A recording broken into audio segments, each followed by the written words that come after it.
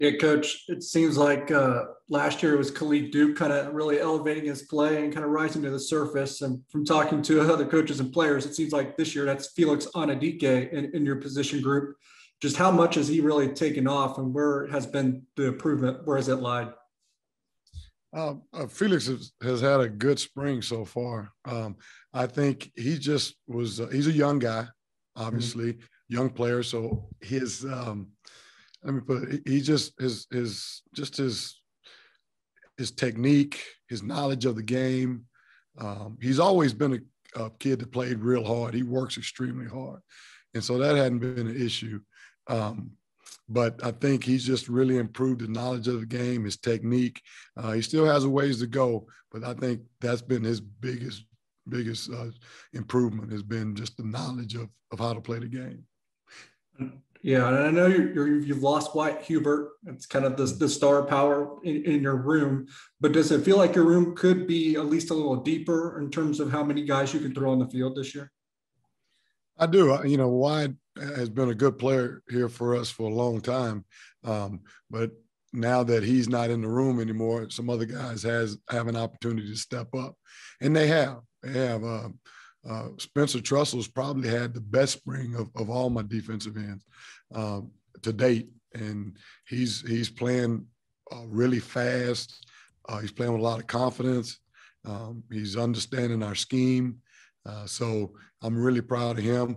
Uh, uh, Bronson Massie is back, you know, for his sixth year, um, for that extra year, which is really brings brings a lot of experience to our group, and so we're happy with that.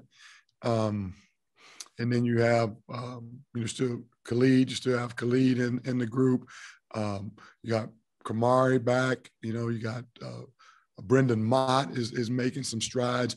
Uh, Nate Matlack is really he's probably between Spencer, Felix, and Nate uh, have made the, the biggest improvements. It, it really excited about about those three guys. And, for Nate, because I was going to ask about him anyway, was it kind of him filling out his frame? Because I know he came in pretty thin. Yeah, Nate's still thin, but he's he's bigger than what he what he was. Uh, um, and Nate is is an extremely intelligent football player. Uh, uh, he's very coachable. Uh, he works extremely hard. I mean, he has all the intangibles that you look for uh, in, in, a in a football player. And so, uh, man, I'm I'm just excited to, to, to see him continue to develop. Um, and he is he has got a chance to be really really good uh, here at Kansas State. Thanks, Coach. John. Yeah, buddy, is Nate somebody that can have a, a legitimate role for you guys this year? You think? Oh, most definitely, most definitely. Um, Nate is is really uh, improved on his pass rush. Obviously, he's gotten bigger and stronger, um, so he's playing uh, the run a whole lot better than he did, you know, his his freshman year. Uh, so he's definitely in the mix uh, in some and to do some things for us, whether it's in a in a pass rush situation or whether whether it's in a uh, every down situation. He's really making a, a bid for uh, to get uh, a lot of playing time this year. Where is Khalid right now in, in his development? Where have you seen him come along the most? Oh, Khalid, oh, last year, you know, Khalid made a big jump last year, and he, and, and he's continuing to to grow uh, as far as um, just technique, uh, playing with with lower pad level. Um, those type of things. You know, obviously his his the thing he does best is rush the quarterback. You know, and so he's he's continued to work on that. But I guess to answer your question, it'd be in the run game.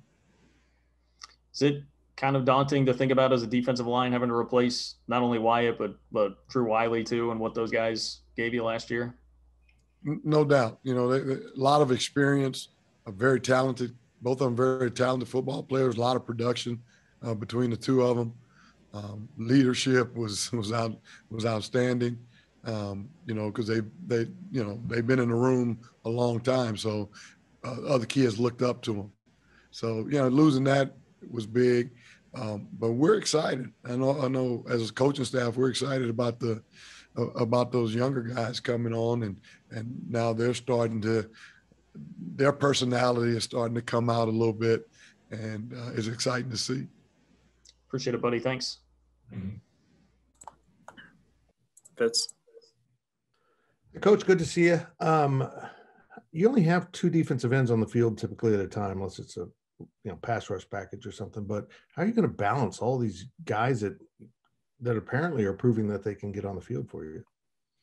Jim, as you and I both know, uh, competition makes everybody better. So that's going to really, in my opinion, that's going to just help that room continue to get better and better.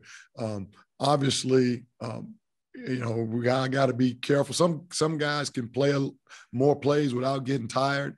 Uh, some guys get tired a little faster, so I got to make sure that that when they're out there that they're fresh and that they can can give us great effort because that's what we're going to pride ourselves on this year is is giving uh, maximum effort on every play. And uh, hey, we got enough guys that hey, if you get a little tired, you know, just let us know. We'll get somebody else in there. So that's we're going to do it by by committee. I guess is the best way to put it. Um, and th- these guys will, will know their role. You know, we're still developing those roles right now as we go through spring ball and through the summer and into fall camp. We'll we'll continue uh, to develop everybody's role, and um, and and uh, you know, obviously, the more the merrier, in my opinion, because I just I love to see a lot of guys. I love to play a lot of guys. Period, and the more I can play, uh, I think the better we'll be you mentioned that competition factor. Is it just so obvious these guys they can't take a play off, they can't loaf, they they've got to show every time they have an opportunity? I think I think that's that's happening uh, with a, at a lot of positions, but especially at defensive end. Um, hey, if you want if you want more snaps, then you're gonna have to show me that you got to earn those snaps, and we're, not we're not gonna we're, not gonna let anybody uh, slack on the field. We want to make sure everybody's running to the ball, everybody's giving their best on every play.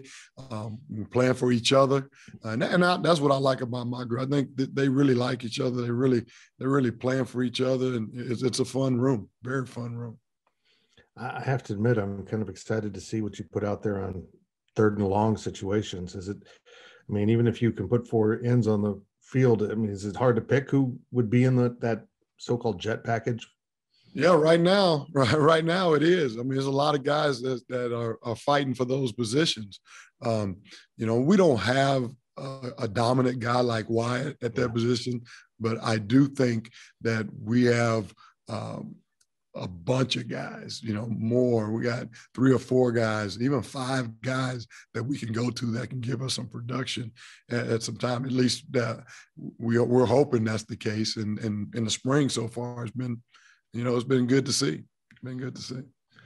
Thanks, Coach. If if you need need to get some advice on how to put weight on, I'm your guy. I'm good at that. All right. Last one here, Derek. Yeah, Coach, if I'm recalling correctly, I think you're one of the few guys that already knew Coach True before he got to Manhattan. Just uh, what's what was your interactions been like before that, and how has he embraced and fit into your program? Yeah, I knew True. I worked with True uh, when I was coaching at SMU. He was the the uh, he was the head strength coach there. Um, the one thing you, I mean, what you'll learn really fast about True is what you see is what you get. I mean, he's he's not going. I mean, it's only one way with him, and that's straight. There's no there's no left or right. It's one way, and uh, he's a. He's very loyal. Um, he believes a lot in culture. The culture of your program is established in the weight room, and uh, whatever Coach Klieman uh, sets that culture to be, that's the way it's going to be in that weight room.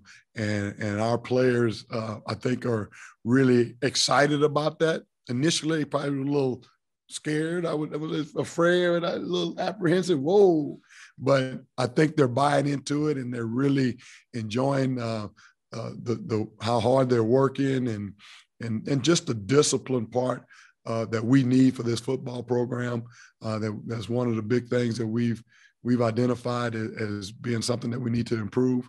And so I think that starts in that weight room, and I think True is is, is doing a really good job um, when it comes to that.